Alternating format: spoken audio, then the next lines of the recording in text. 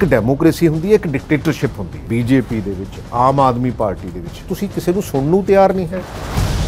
ਇੱਕ ਕਦਾਵਰ ਪਰਿਵਾਰ ਦੇ ਆਗੂ ਤੁਹਾਨੂੰ ਛੱਡ ਕੇ ਚਲੇ ਗਏ ਤੇ ਪ੍ਰਗਟ ਸਿੰਘ ਬੜੇ ਖੁਸ਼ ਨਜ਼ਰ ਆਇਆ ਕਾਂਗਰਸ ਦੇ ਵਿੱਚ ਬਹੁਤ ਸਾਰੇ ਬਿਆਨ ਅਜਿਹੇ ਹੁੰਦੇ ਨੇ ਕਿ ਉਹ ਸੈਲਫ ਗੋਲ ਹੀ ਹੁੰਦਾ ਆਪਣੇ ਵਾਲੇ ਪਾਸੇ। ਹੀ ਉਹ ਇਹ ਨਹੀਂ ਪਤਾ ਕਿ ਕੈਪਟਨ ਦੇ ਖਿਲਾਫ ਹੈ ਚੰਨੀ ਦੇ ਖਿਲਾਫ ਹੋ ਗਿਆ ਜਾਂ ਬੜਿੰਗ ਸਾਹਿਬ ਦੇ ਖਿਲਾਫ ਹੋ ਗਿਆ ਜਾਂ ਕਿਸ ਦੇ ਖਿਲਾਫ ਹੋ ਗਿਆ। ਇਹ ਤੁਹਾਨੂੰ ਇਹ ਲੱਗਦਾ ਸੀ ਕਿ ਜੇ ਆਮ ਆਦਮੀ ਪਾਰਟੀ ਨਾਲ ਸਮਝੌਤਾ ਹੋ ਗਿਆ ਤਾਂ ਕਾਂਗਰਸ ਦੀ ਪੋਜੀਸ਼ਨ ਖਰਾਬ ਹੋ ਜਾਣੀ ਹੈ ਪੰਜਾਬ ਦੇ ਵਿੱਚ। ਮੁੱਖ ਮੰਤਰੀ ਬਣਨ ਦੇ ਚਾਹਵਾਨ ਹੋ। ਜਿਨ੍ਹਾਂ ਨੇ ਮੈਨੂੰ ਸਪੋਰਟ ਕੀਤਾ ਜਿਹਦੇ ਲਈ ਮੈਂ ਖੜਾ ਹੋਇਆ ਤੇ ਜੇ ਮੈਂ ਅੱਜ ਉਹਨਾਂ ਲਈ ਖੜਾ ਨਹੀਂ ਹੁੰਦਾ ਵਿਆਹਾਂ ਭੋਗਾਂ ਤੇ ਤਾਂ ਖੁਸਰੇ ਵੀ ਚਲੇ ਜਾਂਦੇ ਫਿਰ ਲੀਡਰ ਦਾ ਕਰਾਉਣਾ ਕੀ ਆ?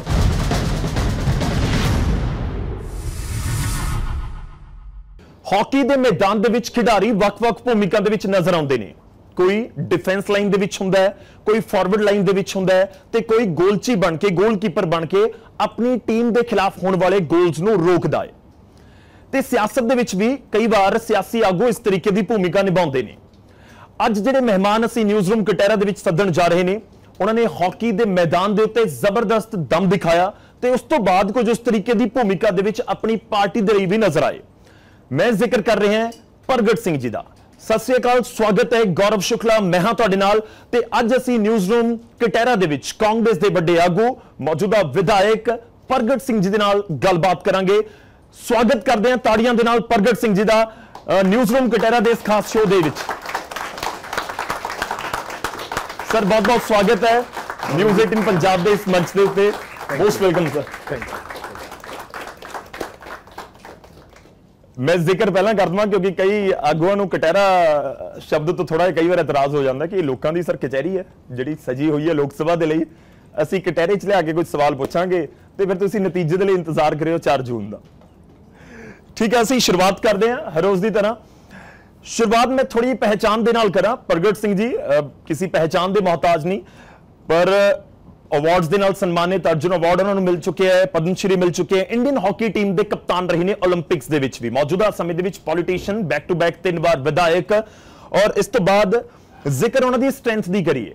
ਸਟਰੈਂਥ ਪ੍ਰਗਟ ਸਿੰਘ ਜੀ, ਬਹੁਤ ਜਦੋਂ ਬੋਲਦੇ ਨੇ, ਸੁਲਝੀ ਹੋਈ ਗੱਲ ਕਰਦੇ ਨੇ, ਇਹ ਉਹਨਾਂ ਦੇ ਲਈ ਕਿਹਾ ਜਾਂਦਾ ਹੈ। ਤੇ ਇਹ ਵੀ ਮੰਨਿਆ ਗਿਆ ਕਿ ਜਦੋਂ 2022 ਦੇ ਵਿੱਚ ਬਹੁਤ ਵੱਡੇ ਵੱਡੇ ਸਿਆਸੀ ਆਗੂ ਹਾਰ ਗਏ, ਉਸ ਹਨੇਰੀ ਦੇ ਵਿੱਚ ਵੀ ਪ੍ਰਗਟ ਸਿੰਘ ਜੀ ਆਪਣੀ ਸੀਟ ਬਚਾਉਣ ਦੇ ਵਿੱਚ ਕਾਮਯਾਬ ਰਹੇ ਨੇ। ਅੱਛਾ ਵੀਕਨੈਸ ਦੇ ਤੌਰ ਦੇ ਉੱਤੇ ਅਸੀਂ ਦੇਖੀਏ, ਤਾਂ ਪ੍ਰਗਟ ਸਿੰਘ ਜੀ ਦਾ ਨਾਮ ਜਲੰਧਰ ਕੈਂਟ ਦੇ ਵਿਧਾਇਕ ਦੇ ਤੌਰ ਦੇ ਉੱਤੇ ਲਿਆ ਜਾਂਦਾ ਹੈ। ਕਾਬਲੇ ਗੌਰ ਇਹ ਹੈ ਕਿ ਬਹੁਤ ਵੱਡੇ ਪਲੇਅਰ ਇੰਡੀਅਨ ਹਾਕੀ ਟੀਮ ਦੇ ਰਹੇ, ਅਲੱਗ-ਅਲੱਗ ਉਹਨਾਂ ਨੇ ਰਿਸਪੌਂਸਿਬਿਲਿਟੀਆਂ ਸੰਭਾਲੀਆਂ। ਪਰ ਕਿਹਾ ਜਾਂਦਾ ਕਿ ਉਹ ਜਲੰਧਰ ਤੱਕ ਕਿਤੇ ਨਾ ਕਿਤੇ ਬਤੌਰ ਸਿਆਸੀ ਆਗੂ ਸੀਮਿਤ ਸ਼ਾਇਦ ਰਹਿ ਗਏ। ਤੇ ਮੈਂ ਗੱਲ ਇਲਜ਼ਾਮਾਂ ਦੀ ਵੀ ਕਰ ਲਵਾਂ। ਇਲਜ਼ਾਮ ਲੱਗਦੇ ਨੇ ਕਿ ਕਈ ਵਾਰ ਪਾਰਟੀ ਲਾਈਨ ਤੋਂ ਥੋੜਾ ਜਿਹਾ ਹਟ ਕੇ ਬਿਆਨ ਦੇ ਦਿੰਦੇ ਨੇ, ਕਈ ਵਾਰ ਖਿਲਾਫ ਸਟੈਂਡ ਲੈ ਲੈਂਦੇ ਨੇ। ਕੈਪਟਨ ਦੇ ਖਿਲਾਫ ਜਿਸ ਤਰੀਕੇ ਨਾਲ ਸਟੈਂਡ ਲਿਆ ਗਿਆ, ਉਹ ਬਹੁਤ ਚਰਚਾ ਦੇ ਵਿੱਚ ਰਿਹਾ ਹੈ ਤਾਂ ਇਹ ਸਾਰੇ ਇਲਜ਼ਾਮਾਂ ਦੇ ਜਵਾਬ ਵੀ ਅਸੀਂ ਲੈਣ ਦੀ ਕੋਸ਼ਿਸ਼ ਕਰਾਂਗੇ। ਸਰ, ਇੱਕ ਵਾਰ ਫਿਰ ਤੋਂ ਬਹੁਤ ਬਹੁਤ ਸਵਾਗਤ ਹੈ ਸਾਡੇ ਇਸ ਖਾਸ ਸ਼ੋਅ ਨਿਊਜ਼ ਰੂਮ ਕਟਹਿਰਾ ਦੇ ਵਿੱਚ। ਮੈਂ ਇੱਕ ਵਾਰ ਤਾੜੀਆਂ ਜ਼ਰੂਰ ਆਪਣੀ ਟੀਮ ਨੂੰ ਕਵਾਂਗਾ ਮੇਰੇ ਸੀਨੀਅਰ ਸਹਿਯੋਗੀ ਵਿਜੇਪਾਲ ਬਰਾੜ ਵੀ ਸਾਡੇ ਨਾਲ ਹੋਣਗੇ, ਹਰ ਸ਼ੋਅ ਦੀ ਤਰ੍ਹਾਂ। ਤੇ ਸਰ, ਸਾਰੇ ਯੰਗ ਜਰਨਲਿਸਟ ਵੀ ਬੈਠੇ ਨੇ। ਅਸੀਂ ਇਹ ਕੋਸ਼ਿਸ਼ ਕਰ ਰਹੇ ਹਾਂ ਕਿ ਉਹ ਵੀ ਤੁਹਾਡੇ ਤੋਂ ਡਾਇਰੈਕਟ ਸਵਾਲ ਕਰਨ। ਇਸ ਕਰਕੇ ਅਸੀਂ ਇਸ ਨੂੰ ਫਾਰਮੈਟ ਨੂੰ ਨਿਊਜ਼ ਰੂਮ ਦੇ ਵਿੱਚ ਹੀ ਰੱਖਿਆ। ਮੈਂ ਸ਼ੁਰੂਆਤ ਕਰਦਾ, ਮੈਂ ਜਲੰਧਰ ਤੋਂ ਹੀ ਸ਼ੁਰੂਆਤ ਕਰਦਾ, ਤੁਸੀਂ ਉੱਥੋਂ ਆਉਂਦੇ ਹੋ।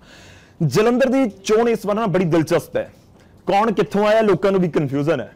ਚੰਨੀ ਜੀ ਚਮਕੌਰ ਸਾਹਿਬ ਤੋਂ ਚਲੇ ਗਏ। ਚਲੋ, ਹੈ ਤਾਂ ਕਾਂਗਰਸ ਦੇ। ਹੀ ਟੀਨੂ ਜੀ ਕਿਸੇ ਪਾਰਟੀ ਚੋਂ ਆਏ, ਟਿਕਟ ਮਿਲ ਗਈ। ਰਿੰਕੂ ਜੀ ਕਿਸੇ ਪਾਰਟੀ ਚੋਂ ਆਏ, ਟਿਕਟ ਮਿਲ ਗਈ। ਯਾਨੀ ਕਿ ਇਹ ਪੂਰਾ ਸਮੀਕਰਨ ਹੋਇਆ। ਪ੍ਰਗਟ ਸਿੰਘ ਜਲੰਧਰ ਦੇ ਇਲੈਕਸ਼ਨ ਨੂੰ ਇਸ ਵਾਰ ਕਿਵੇਂ ਦੇਖ ਰਹੇ ਹੋ ਦੇਖੋ ਮੈਂ ਜੋ ਓਵਰਆਲ ਇਲੈਕਸ਼ਨ ਨੂੰ ਦੇਖ ਰਿਹਾ ਜਲੰਧਰ ਵੀ ਉਹਦਾ ਹਿੱਸਾ ਆ। ਠੀਕ ਹੈ। ਕਿਉਂਕਿ ਦੇਸ਼ ਦੀ ਰਾਜਨੀਤੀ ਜਿਹੜੀ ਉਹ ਬੜੇ ਔਖੇ ਦੌਰ ਦੇ ਵਿੱਚੋਂ ਲੰਘ ਰਹੀ ਹੈ। ਉਹ ਇਸ ਕਰਕੇ ਮੈਂ ਯੂਜ਼ ਕਰ ਰਿਹਾ ਕਿਉਂਕਿ ਅਸੀਂ ਡਿਕਟੇਟਰਸ਼ਿਪ ਵੱਲ ਵੱਧ ਰਹੇ ਹਾਂ। ਵੈਸੇ ਤਾਂ ਸਾਡੇ ਇੰਟਰਨਲ ਡੈਮੋਕ੍ਰੇਸੀ ਜਿਹੜੀ ਉਹ ਹੌਲੀ-ਹੌਲੀ ਖਤਮ ਹੁੰਦੀ ਜਾ ਰਹੀ ਆ ਅਸੀਂ ਇੱਕ ਬੰਦੇ ਨੂੰ ਡੈਮੀ ਗॉड ਬਣਾਉਨੇ ਆ ਉਹਦੇ ਆਲੇ ਦੁਆਲੇ ਕੁਝ ਜਮਾਵੜਾ ਇਕੱਠਾ ਹੁੰਦਾ। ਫਿਰ ਉਹਨੂੰ ਇਹੋ ਜੀ ਹਵਾ ਦਿੰਨੇ ਆ ਵੀ ਜਨਾਬ ਤੁਹਾਡੇ ਵਰਗਾ ਨਾ ਪੈਦਾ ਹੋਇਆ ਨਾ ਪੈਦਾ ਹੋਣਾ। ਔਰ ਹੌਲੀ-ਹੌਲੀ ਹੌਲੀ-ਹੌਲੀ ਉਹ ਧਰਤੀ ਤੋਂ 4 ਫੁੱਟ ਉੱਚਾ ਚੱਕ ਹੋ ਜਾਂਦਾ। ਫਿਰ ਉਹਦੇ ਹੌਲੀ-ਹੌਲੀ ਪੈਰ ਲੱਗਣੋਂ ਹਟ ਜਾਂਦੇ ਆ। ਅਲਟੀਮੇਟਲੀ ਇਹ ਸਾਨੂੰ ਪੈਟਰਨ ਚੇਂਜ ਕਰਨਾ ਪਊਗਾ। ਔਰ ਉਸ ਪੈਟਰਨ ਦੇ ਵਿੱਚ ਹੀ ਇਹ ਜਲੰਧਰ ਦੀ ਜਿਹੜੀ ਇਲੈਕਸ਼ਨ ਹੈਗੀ ਆ ਉਹਦਾ ਹੀ ਇੱਕ ਹਿੱਸਾ ਆ। ਔਰ ਇਸ ਜਲੰਧਰ ਦੀ ਇਲੈਕਸ਼ਨ ਦੇ ਵਿੱਚ ਇਹੋ ਜਿਹੇ ਫੇਰ ਬਦਲ ਇਸ ਵਾਰੀ ਹੋਏ। ਵੀ ਕਈ ਵਾਰੀ ਤਾਂ ਪਾਰਟੀਆਂ ਦੇ ਜਿਹੜੇ ਕੈਂਡੀਡੇਟ ਹੀ ਆ ਉਹ ਪੁਰਾਣੀ ਪਾਰਟੀ ਨੂੰ ਕਹਿ ਦਿੰਦੇ ਵੀ ਵੋਟਾਂ ਪਾ ਦਿਓ। ਹੂੰ। ਸੋ ਇਹ ਬਦਕਿਸਮਤੀ ਆ। ਇਹਦਾ ਮਤਲਬ ਤੁਹਾਡੀ ਵਿਚਾਰਧਾਰਾ ਕੋਈ ਨਹੀਂ ਹੈ। ਤੁਹਾਡੀ ਵਿਚਾਰਧਾਰਾ ਸਿਰਫ ਕੁਰਸੀ ਦੀ ਆ।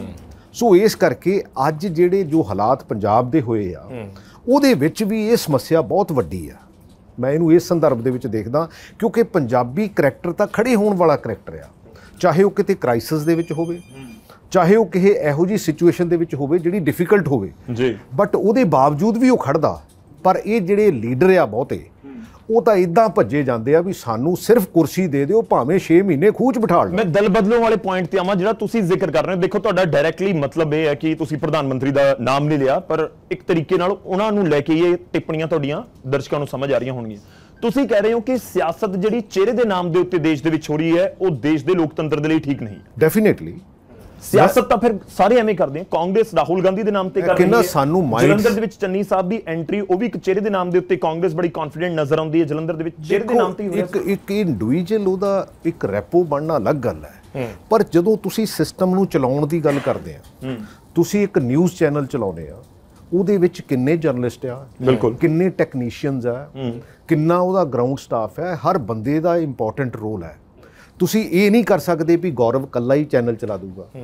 ਬਿਲਕੁਲ। ਵਿਜੇ ਕੱਲਾ ਹੀ ਚੈਨਲ ਚਲਾ ਦੂਗਾ। ਸੋ ਇਹਦੇ ਮਤਲਬ ਸਾਨੂੰ ਟੀਮ ਚਾਹੀਦੀ ਦੇਸ਼ ਚਲਾਉਣ ਲਈ।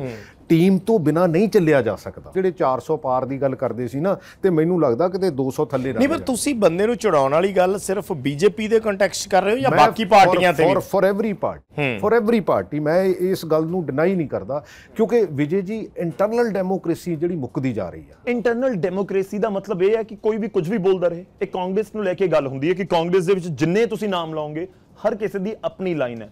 ਦੇਖੋ ਕੋਈ ਵੀ ਅਦਾਰਾ ਹੋਵੇ ਕੋਈ ਵੀ ਥਾਂ ਹੋਵੇ ਇੱਕ ਡਿਸਪਲਿਨ ਤਾਂ ਹੁੰਦਾ ਹੈ। ਤੁਹਾਨੂੰ ਲੱਗਦਾ ਕਿ ਕਾਂਗਰਸ ਉਹ ਇੰਟਰਨਲ ਡੈਮੋਕ੍ਰੇਸੀ ਦੇ ਨਾਮ ਦੇ ਉੱਤੇ ਡਿਸਪਲਿਨ ਨੂੰ ਨਾਲ ਨਹੀਂ ਕੈਰੀ ਕਰਦੀ? ਗੌਰਵ ਜੀ ਬੇਸਿਕਲੀ ਦੇਖੋ ਮੈਂ ਨਹੀਂ ਕਹਿੰਦਾ ਕਾਂਗਰਸ ਦੇ ਵਿੱਚ ਪ੍ਰੋਬਲਮਸ ਨਹੀਂ ਹੈਗੀਆਂ। ਯੈਸ ਹੈਗੀਆਂ। ਪਰ ਮੈਂ ਓਵਰਆਲ ਡੈਮੋਕ੍ਰੇਸੀ ਦੀ ਗੱਲ ਕਰਦਾ ਜਿਹਦੇ ਵਿੱਚ ਇੱਕ ਡੈਮੋਕ੍ਰੇਸੀ ਹੁੰਦੀ ਹੈ ਇੱਕ ਡਿਕਟੇਟਰਸ਼ਿਪ ਹੁੰਦੀ ਹੈ। ਅੱਜ ਤੁਸੀਂ ਮੈਨੂੰ ਇਹ ਦੱਸ ਦਿਓ ਵੀ ਬੀਜੇਪੀ ਦੇ ਵਿੱਚ ਆਮ ਆਦਮੀ ਪਾਰਟੀ ਦੇ ਵਿੱਚ ਹਾਂ ਸਾਡੇ ਚ ਇਨਡਿਸਪਲਿਨ ਹੈਗਾ।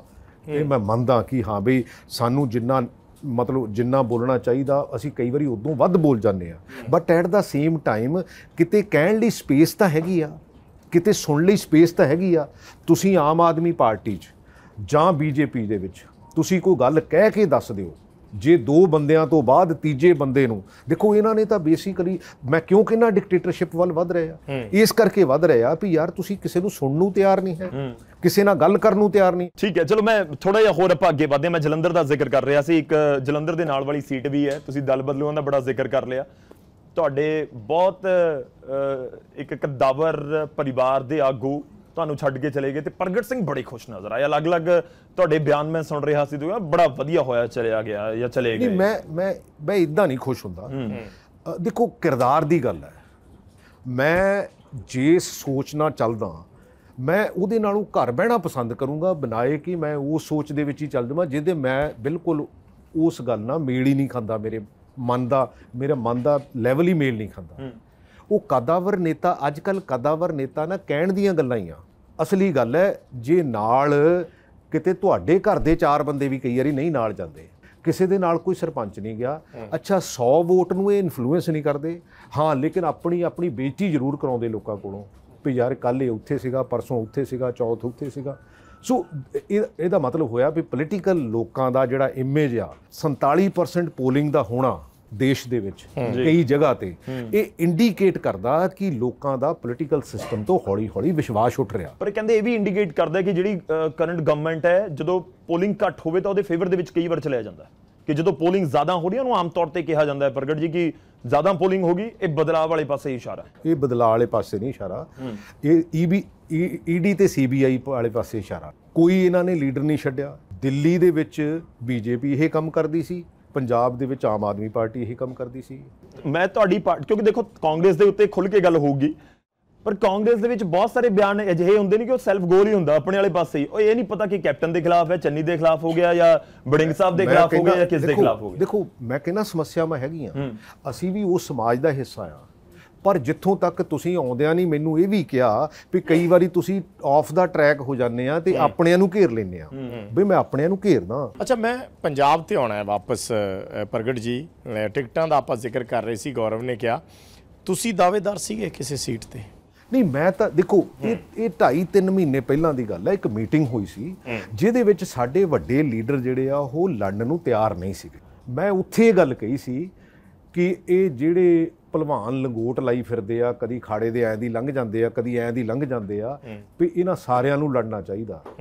ਤੇ ਉਹ ਜਦੋਂ ਮੈਂ ਇਹ ਗੱਲ ਕਹੀ ਤੇ ਉਹ ਉਂਗਲੀਆਂ ਮੇਰੇ ਵੱਲ ਆਉਣ ਲੱਗ ਪਈਆਂ ਵੀ ਤੂੰ ਕਿਉਂ ਨਹੀਂ? ਮੈਂ ਕਿਹਾ ਆਇਆ ਆਲਸੋ ਰੈਡੀ ਜੇ ਪਾਰਟੀ ਸੋਚਦੀ ਆ ਜੇ ਪਾਰਟੀ ਮੈਨੂੰ ਕਹਿੰਦੀ ਆ ਬਠਿੰਡੇ ਤੋਂ ਲੈ ਕੇ ਗੁਰਦਾਸਪੁਰ ਗੁਰਦਾਸਪੁਰ ਤੋਂ ਲੈ ਕੇ ਆਨੰਦਪੁਰ ਸਾਹਿਬ ਕਿਤੇ ਵੀ ਲੜਾ ਲਿਓ ਮੈਂ ਨੰਗੇ ਧੜ ਲੜੂੰਗਾ ਕਿਉਂਕਿ ਮੈਂ ਬੇਸਿਕਲੀ ਸੋਚ ਨਾਲ ਖੜਾ ਮੈਂ ਦੇਸ਼ ਨਾਲ ਖੜਾ ਮੈਂ ਪੰਜਾਬ ਨਾਲ ਖੜਾ ਉਹਦੇ ਵਿੱਚ ਵਿਚਾਲੇ ਜਿਹੜੀਆਂ ਚੀਜ਼ਾਂ ਆਉਂਦੀਆਂ ਉਹ ਮੈਨੂੰ ਕੋਈ ਬਹੁਤਾ ਹਰਡਲ ਕ੍ਰੀਏਟ ਨਹੀਂ ਕਰਦਾ। ਫਿਰ ਤੁਹਾਨੂੰ ਕਿਹਾ ਨਹੀਂ ਕਿ ਲੜੋ ਬਾਅਦ ਦੇ ਨਹੀਂ ਵਿੱਚ? ਮੈਨੂੰ ਨਹੀਂ ਕਿਹਾ। ਹੂੰ। ਮੈਨੂੰ ਮੇਰੇ ਨਾਲੋਂ ਬੈਟਰ ਸੂਟੇਬਲ ਕੈਂਡੀਡੇਟ ਉਹਨਾਂ ਨੂੰ ਹੋ ਸਕਦਾ ਮਿਲੇ ਹੋਣ। ਉਹ ਜੇ ਇਸ ਨਜ਼ਰੀਏ ਨਾਲ ਉਹ ਸੋਚਦੇ ਹੋਣ ਮੈਂ ਸ਼ਾਇਦ ਉੱਥੇ ਨਾ ਫਿੱਟ ਹੁੰਦਾ ਹੋਵਾਂ। ਕਈ ਵਾਰੀ ਫੁੱਲ ਬੈਕ ਨੂੰ ਫਾਰਵਰਡ ਨਹੀਂ ਖਿਡਾਇਆ ਜਾਂਦਾ। ਤੇ ਤੁਸੀਂ ਬਿਗ ਸ਼ਾਟਸ ਦਾ ਜ਼ਿਕਰ ਕਰ ਦਿੱਤਾ ਕਿ ਜਿਹੜੇ ਵੱਡੇ ਪਹਿਲਵਾਨ ਘੁੰਮਦੇ ਆ ਖਾੜੇ 'ਚ ਉਤਾਰ ਦੋ। ਪਰ ਇੱਕ ਪਹਿਲਵਾਨ ਜਿਹੜੇ ਤੁਹਾਡੇ ਬਹੁਤ ਨਜ਼ਦੀਕੀ ਰਹੇ ਤੁਸੀਂ ਉਹਨਾਂ ਦੇ ਬਹੁਤ ਨਜ਼ਦੀਕੀ ਰਹੇ ਉਹ ਖਾੜਾ ਛੱਡ ਕੇ ਕਮੈਂਟਰੀ ਕਰਨ ਚਲੇ ਗਏ ਉਹ ਹੋਰ ਅਖਾੜੇ 'ਚ ਪਹੁੰਚ ਗਏ। ਤੁਸੀਂ ਉਹਨਾਂ ਦਾ ਵੀ ਨਾਮ ਲੈ ਰਹੇ ਸੀਗੇ ਲੜਨ ਪ੍ਰਤਾਪ ਬਾਜਵਾ ਨਹੀਂ ਲੜੇ ਮੈਂ ਕਿਹਾ ਨਵਜੋਤ ਸਿੰਘ ਸਿੱਧੂ ਨਹੀਂ ਲੜੇ। ਦੇਖੋ ਕਈ ਵਾਰੀ ਸਰਕਮਸਟੈਂਸ ਦੇਖੋ ਉਹਨਾਂ ਦੇ ਵਾਈਫ ਜਿਹੜੇ ਆ ਬੇਸਿਕਲੀ ਕੈਂਸਰ ਪੇਸ਼ੈਂਟ ਹੈਗੇ ਆ ਮੈਨੂੰ ਲੱਗਦਾ ਉਸ ਸ਼ਾਇਦ ਮਾਨਸਿਕ ਸਥਿਤੀ ਦੇ ਵਿੱਚ।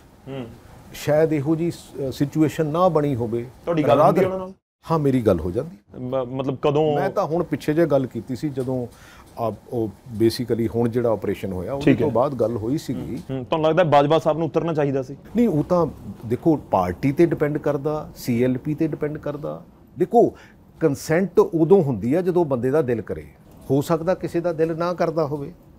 ਦੇਖੋ ਮੈਂ ਤਾਂ ਖਿਡਾਰੀ ਆ ਮੈਂ ਤਾਂ ਮੈਨੂੰ ਐ ਪਤਾ ਵੀ ਯਾਰ ਜੇ ਮੈਚ ਹੈਗਾ ਤੇ ਨਹੀਂ ਫਿਰ ਉੱਥੇ ਖਿਡਾਰੀ ਦਾ ਮਨ ਨਾ ਕਰਦਾ ਹੋਵੇ ਟੀਮ ਨੇ ਲੜਨਾ ਹੋਵੇ ਇਹ ਤਾਂ ਨਹੀਂ ਹੋ ਸਕਦਾ ਨਾ।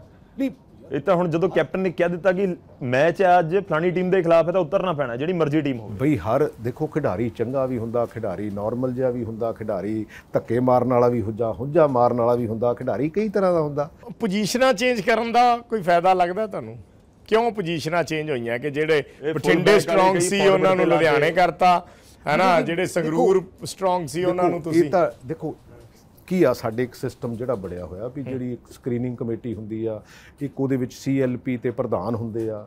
ਸੋ ਇਹ ਤਾਂ ਬੈਟਰ ਆਨਸਰ ਤਾਂ ਉਹ ਦੇ ਸਕਦੇ ਆ ਬਟ ਮੈਂ ਤਾਂ ਸਿਰਫ ਇਸ ਗੱਲ ਦਾ ਹਾਮੀ ਆ ਵੀ ਜਿਹੜਾ ਬੰਦਾ ਪੰਜਾਬ ਦੇ ਇਸ਼ੂਜ਼ ਦੀ ਗੱਲ ਜਾ ਕੇ ਦਿੱਲੀ ਦੇ ਵਿੱਚ ਚੰਗੀ ਤਰ੍ਹਾਂ ਕਰ ਸਕਦਾ ਹੋਵੇ। ਉਸ ਬੰਦੇ ਨੂੰ ਜਾਣਾ ਚਾਹੀਦਾ ਲੜਨਾ ਚਾਹੀਦਾ ਚਾਹੇ ਉਹ ਬਠਿੰਡੇ ਦਾ ਹੋਵੇ ਚਾਹੇ ਉਹ ਕਿਤੇ ਦਾ ਹੋਵੇ ਚਾਹੇ ਉਹ ਕਿਤੇ ਦਾ ਹੋਵੇ। ਤੁਹਾਡੇ ਇਸ ਚੈਨਲ ਦੇ ਜ਼ਰੀਏ ਇਹ ਲੋਕਾਂ ਨੂੰ ਅਪੀਲ ਕਰੂੰਗਾ ਭਾਵੇਂ ਕਿਸੇ ਪਾਰਟੀ ਦਾ ਵੀ ਹੋਵੇ। ਜੇ ਇਲੌਜੀਕਲੀ ਵੈਸੇ ਤਾਂ ਪੋਲੀਟੀਸ਼ੀਅਨ ਜਿਹੜੇ ਆ ਲੌਜੀਕ ਕੱਢ ਲੈਂਦੇ ਆ। ਬਟ ਇਲੌਜੀਕਲੀ ਜੇ ਕੋਈ ਇਦਾਂ ਦਾ ਹੋਇਆ ਉਹਨੂੰ ਵੋਟ ਨਾ ਪਾਇਓ ਭਾਵੇਂ ਕਿਸੇ ਪਾਰਟੀ ਦਾ। ਤੁਸੀਂ ਪ੍ਰਗਟ ਜੀ ਆਪਣਾ ਸਿਆਸੀ ਕੈਰੀਅਰ ਸ਼ੁਰੂ ਕੀਤਾ ਅਕਾਲੀ ਦਲ ਦੇ ਨਾਲ ਉਸ ਤੋਂ ਬਾਅਦ ਤੁਸੀਂ ਕਾਂਗਰਸ ਪਾਰਟੀ ਦੋਨਾਂ ਪਾਸਿਓਂ ਵਿਧਾਇਕ ਬਣੇ। ਕੀ ਵਜ੍ਹਾ ਰਹੀ? ਤੁਸ ਤੋਂ ਤੁਹਾਨੂੰ ਪਾਰਟੀ ਬਦਲਣ ਦੀ ਲੋੜ ਕਿਉਂ ਪਈ? ਮੈਨੂੰ ਮੈਨੂੰ ਤਾਂ ਬੇਸਿਕਲੀ ਦੇਖੋ ਮੇਰੇ ਮੇਰੇ ਹਲਕੇ ਦੇ ਵਿੱਚ ਵੇਸਟ ਮੈਨੇਜਮੈਂਟ ਪਲਾਂਟ ਲੱਗਣਾ ਸੀ। ਹੂੰ।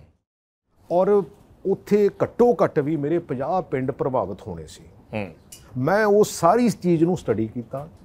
ਉਹ ਚਾਈਨਾ ਦੀ ਆਊਟਡੇਟਡ ਟੈਕਨੋਲੋਜੀ ਸੀ ਜਿਹੜੀ ਪਿਛਲੇ 20 ਸਾਲ ਪਹਿਲਾਂ ਐਬਸਲੀਟ ਹੋ ਗਈ। ਹੂੰ।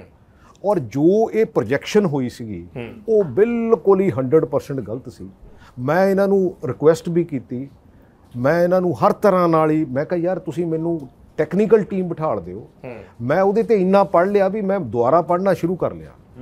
ਉਹਦੇ ਵਿੱਚ ਕਿਉਂਕਿ 1200 ਡਿਗਰੀ ਤੇ ਉਹਦੇ ਵਿੱਚ ਇਨਸਿਲਰੇਸ਼ਨ ਹੋਣੀ ਸੀ ਔਰ ਉਹਦੇ ਵਿੱਚੋਂ ਜਿਹੜਾ ਪਲਾਸਟਿਕ ਜਦੋਂ ਜਲਦੀ ਉਹਦੇ ਵਿੱਚੋਂ ਡਾਇਆਕਸਿਨ ਗੈਸ ਨਿਕਲਦੀ ਹੈ ਵਿਚ ਇਜ਼ ਕੈਂਸਰਸ ਮੈਂ ਉਹ ਆਪਣੇ ਲੋਕਾਂ ਨੂੰ ਨਹੀਂ ਦੇ ਸਕਦਾ ਸੀ।